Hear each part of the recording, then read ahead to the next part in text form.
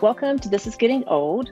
I'm your host, Melissa Batchelor, and today's we're going to be talking about bladder infections and to treat or not to treat in older adults. And I'm joined again by Jamie Smith, who's co author of Geriatric Notes, which is a practical, um, small, up to date guide that's specific to helping people in geriatric medicine. So, welcome, Jamie. So, if you will just introduce yourself, um, do that, and then we'll get we'll dive into bladder infections. Hi, everyone. My name is Jamie Smith. I'm a nurse practitioner. I work full time with Premier Geriatric Solutions. I'm the director of education. Been a nurse practitioner for about eight years. Prior to that, I worked in the ER, ICU, med surg, about five years as an RN. And I am the author of Geriatric Notes. Happy to be here. All right. So, first of all, let's define what a bladder infection is compared to um, asymptomatic bacteria or bacteriuria. You say it. okay. Okay. So urinary tract infection is when you have an infection of your genitourinary tract. It can be your bladder, your kidneys. Um, and so you have a positive urine, but you also have symptoms like you're burning with urination, your dysuria, urgency, frequency. You may have suprapubic pain, flank pain, gross hematuria, where your pee like turns different colors, like like a pinkish or like even like a reddish color. You may or may not see that in your in your urine, but you'll see it in like the urinalysis.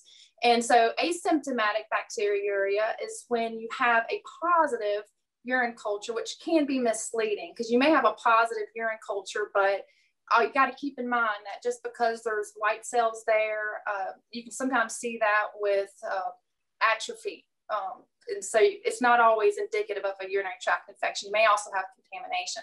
So colonize is where you've got this positive urine, but you lack your typical genitourinary symptoms like you would see with the UTI. And it's extremely important to differentiate between UTI versus a colonized state because when you give antibiotics in older adults, that increases your risk of C. diff, antibiotic resistance, drug to drug interaction, increased healthcare cost.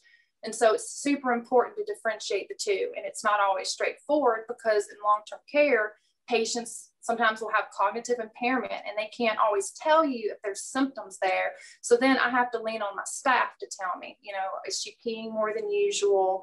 Um, is there grimacing when she urinates? Have you noticed discolored urine? And so forth. And so I also try to differentiate because even if they've got dysuria or burning urination, the other two differential diagnoses you have to think about is atrophic vaginitis and um, interstitial cystitis, also known as painful bladder syndrome. So figuring out if the burning urination is new versus if you've had it for a while can also help you figure out if this is a true UTI versus something else. Okay. So what are some of the different things that you use to differentiate? Like if you Okay. Okay. So I'm a member of AMDA, and so they actually have a flip manual. Um, it's uh, the urinary tract infection, and at the, the back end of it, there's actually a one pager I use and I give to my staff. I call it the watch list, and I'll have them fill it out for me, and it helps me figure out if this is a true UTI versus colonized state. They'll look for if they're urinating more than usual, if there's anything abnormal going on, we'll look at vital signs to help us out. So to look for elevated heart rate, elevated temperature, because a lot of times they're not going to have your typical textbook symptoms of a UTI. Sometimes I will even get a white blood cell count to help guide medical decision making, and sometimes I'll get a procalcitonin because that'll let you know if it's acute active bacterial infection right here, right now. I reserve that though if the patient's confused, can't really tell you, and I've ruled out other stuff. I always try to rule out other stuff first though. So like if they want to get a urine based off of confusion, I always do basic stuff first, like looking for for any new meds that have started. I don't automatically go towards a UTI thought process. Okay. So what are some of the differences you see between kind of how this is treated in the hospital setting compared to long-term care? That is a good question. So here in Southwestern Virginia, anytime we have a patient go out, like a family member request, you know, for the mom to go out because they're confused, one of the first things the ER does, they they'll check a CBC, a basic metabolic panel in a urine. Even if the urine has trace amounts of bacteria, and let's say the patient's confused, but not so totally confused that they can't tell you if there's any genitourinary symptoms, here in Virginia at least, I will all the time see they'll go ahead and get prescribed an antibiotic. And um, that's different than long term care because if they can tell you if they're having symptoms and they're not having any symptoms uh, associated with your genitourinary tract, then that's classified as colonized and we don't treat that because we look at the McGeer's criteria, Loeb's criteria, and um, if they don't qualify, we don't treat them because of the risk of harm with giving them an antibiotic. So is there anything else that a provider needs to know about yeah. asymptomatic bacteria?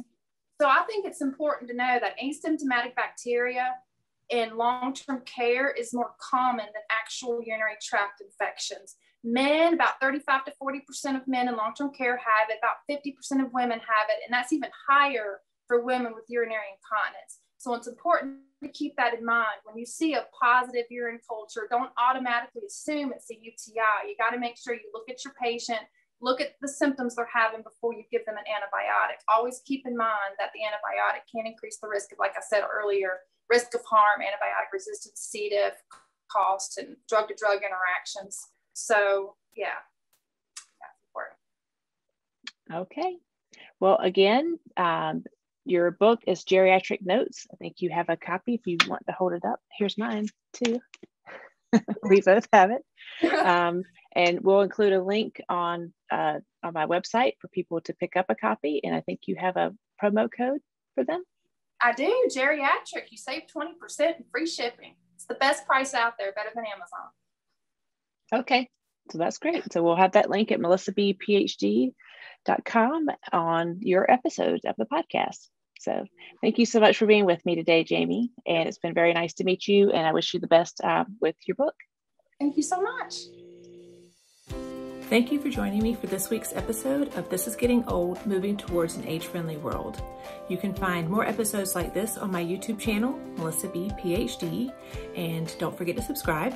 You can also visit my website, melissabphd.com, and check out the podcast and blog section because that's where I put all the hyperlinks and different things that we may talk about in any given episode. You can follow me on social media um, Twitter, LinkedIn, Instagram, and Facebook.